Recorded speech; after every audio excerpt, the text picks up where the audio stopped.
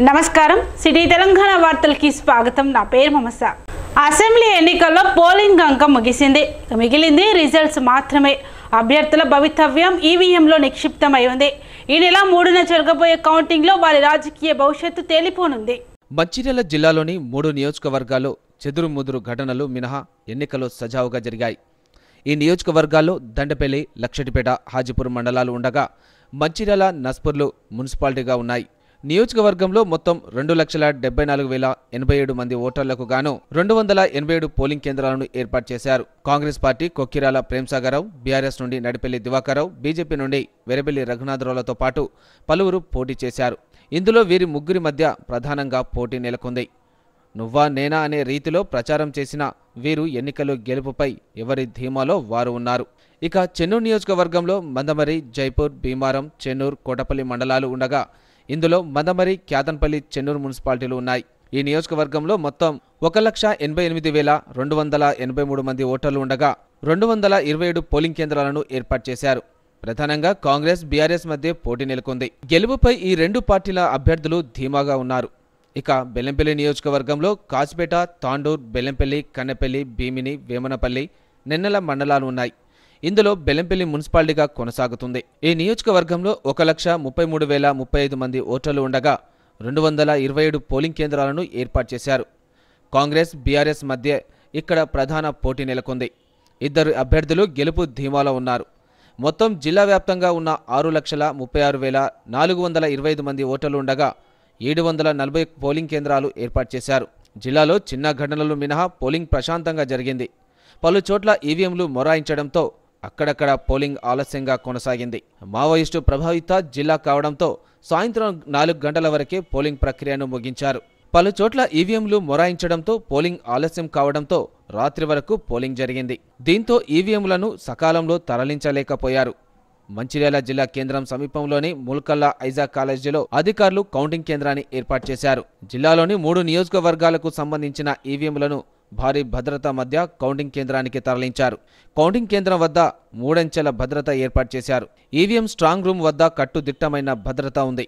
ప్రస్తుతం అభ్యర్థుల భవితవ్యం ఈవీఎంలలో భద్రంగా ఉంది. అభ్యర్థులంతా పోలింగ్ సరళిపై లెక్కలేసుకోవడంతో బిజీ బిజీగా గడిపారు. పోలింగ్ జరిగిన తీరు ఓటర్ల మనోగతం అంచనాలు వేసుకుంటూ ఓటింగ్ ప్రక్రియపై ఆరా తీశారు. ఆయా పోలింగ్ బూతుల్లో తమకు ఎన్ని ఓట్లు పడి ఉంటాయని అంచనాలు వేసుకొని గెలుపుపై ధీమాగా ఉన్నారు.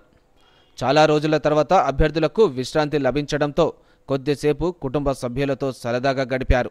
ఈవీఎంలలో దాగి ఉన్న ఫలితాలను లెక్కలేసుకుంటూ ఆందోళనలో ఉన్నారు.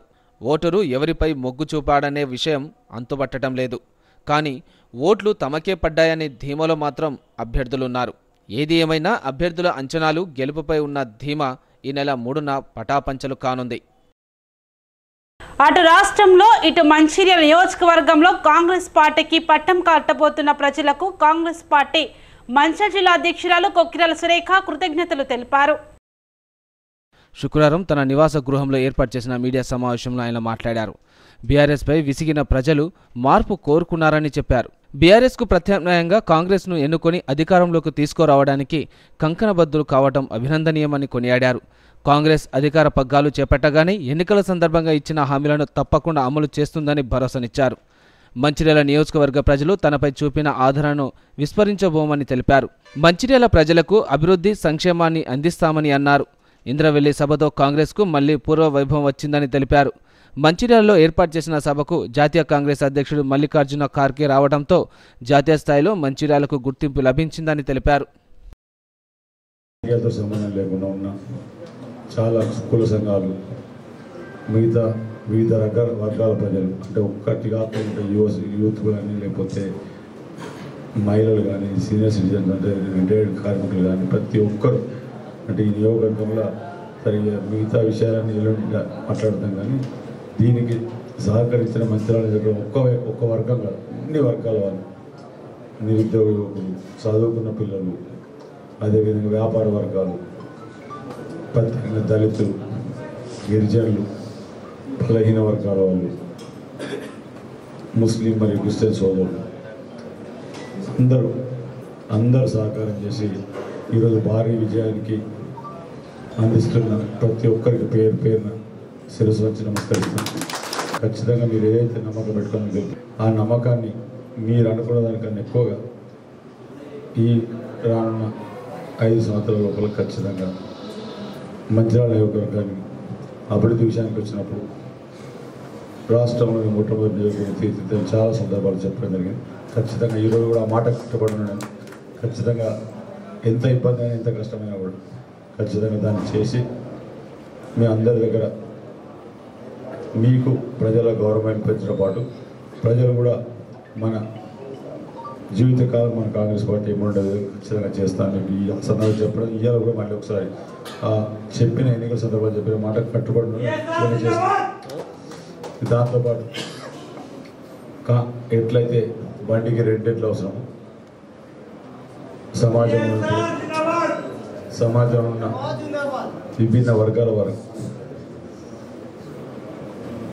Voiceless people ఎవరైతున్నారో I want to become they their voice దాని అర్థం ఏంటంటే ఎవరైతే నోరు లేని వాళ్ళు కాదు వాళ్ళు వాళ్ళ బాధలు వాళ్ళు చెప్పుకోలేని పరిస్థితి చెప్పుకో తెలియని పరిస్థితి వాళ్ళందరి తరఫున కూడా వాయిస్ని రేపు అసెంబ్లీలో కానీ వాళ్ళ సమస్యలు కానీ ఖచ్చితంగా సంక్షేమం కానీ అభివృద్ధి కానీ బండికి రెండెట్లకి తీసుకుపోయి అన్నింటిలో రాష్ట్రంలో మంత్రుల నియోజకవర్గాన్ని మొదటి భాగాన్ని నిలబెట్టడానికి నా శాయశక్తి ప్రయత్నం చేసి ఖచ్చితంగా ఏదైతే ఎన్నికల సందర్భంగా చెప్పడం జరిగింది అన్ని నూటికి శాతం చేస్తారని మరొకసారి వాళ్ళందరికీ ఏదైతే నమ్మకంతో ఉందో వాళ్ళందరికీ మాటిస్తున్నాను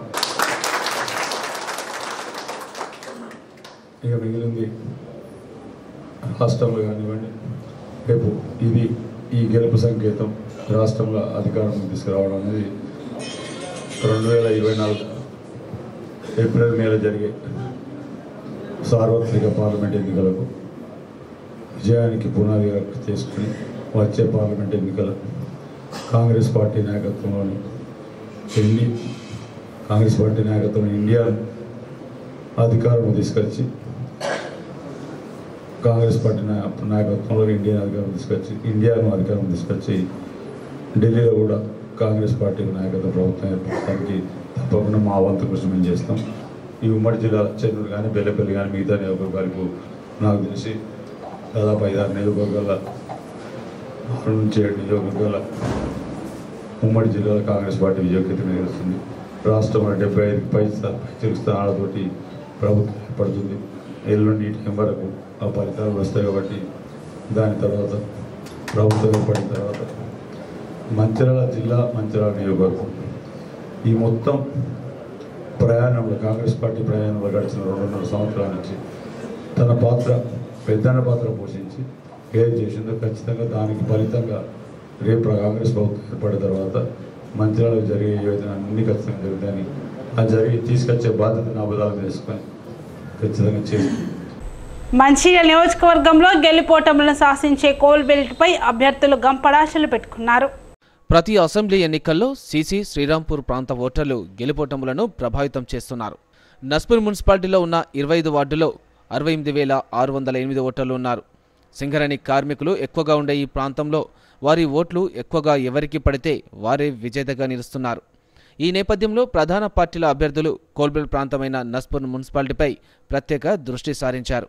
బీఆర్ఎస్ నుండి పోటీ చేసిన నడిపెల్లి దివాకర్ రావు కాంగ్రెస్ నుండి పోటీ చేసిన అభ్యర్థి ప్రేమ్సాగర్ రావు బీజేపీ నుండి పోటీ చేసిన వెరబెల్లి రఘునాథ్ రావులు ఎక్కువగా కోల్బెల్ ప్రాంతంలో ప్రచారం చేశారు.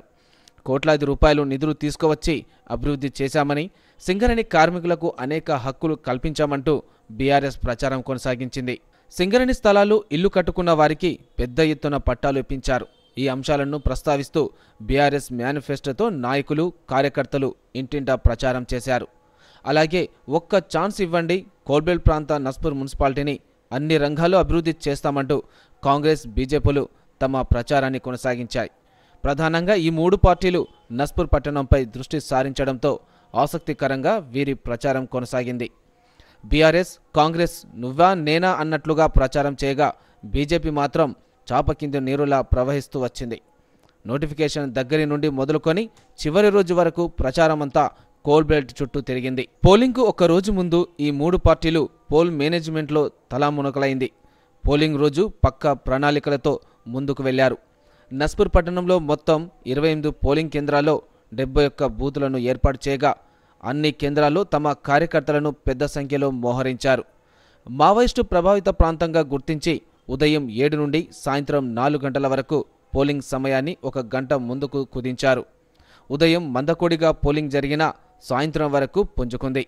రెండు చోట్ల ఈవీఎంలు మొరాయించడంతో రాత్రి ఎనిమిది గంటల వరకు పోలింగ్ జరిగింది. మున్సిపాలిటీలో అరవై శాతం పోలింగ్ నమోదు కాగా అరవై ఎనిమిది వేల ఆరు వందల ఎనిమిది మంది ఓటర్లకు గాను నలభై వేల ఐదు వందల మంది తమ ఓటు హక్కును వినియోగించుకున్నారు. ఇక్కడ ముక్కోనపు ఫైట్ జరిగిందని విశ్లేషకులు భావిస్తున్నారు.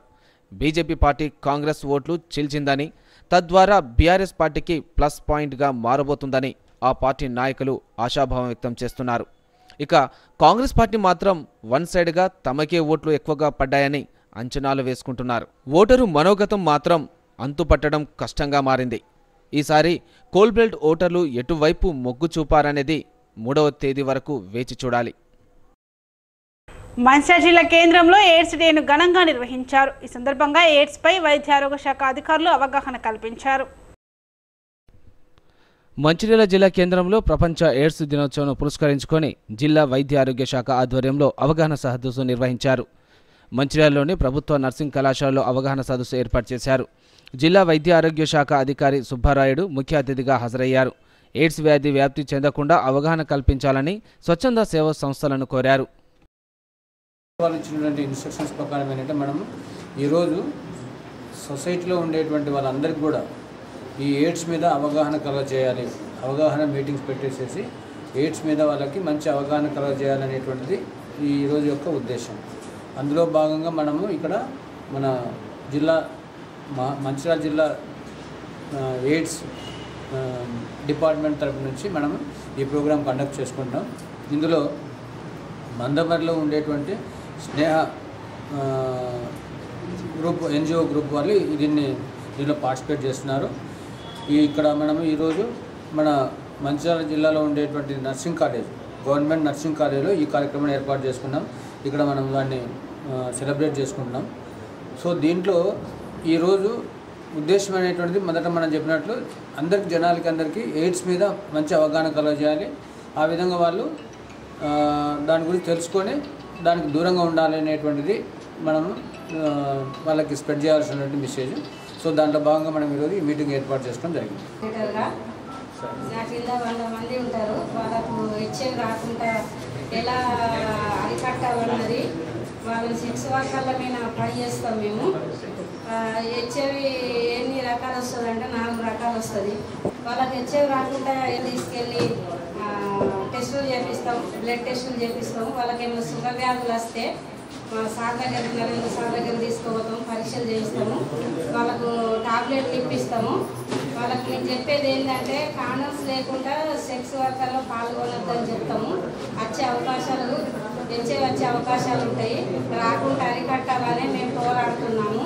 ఇంకా కూడా హెచ్ఐవి రాకుండా సెక్స్ వర్కర్ల మీద కానీ ఎవరి మీదనైనా కూడా మేము హెచ్ఐవి రాకుండా పోరాడతామని వాళ్ళకి సేవలు చేస్తామని సిటీ న్యూస్ ఇంతటితో సమాప్తం. తిరిగి ప్రసారం అయ్యే సిటీ న్యూస్లో మళ్ళీ కలుద్దాం. అంతవరకు సెలవు నమస్కారం.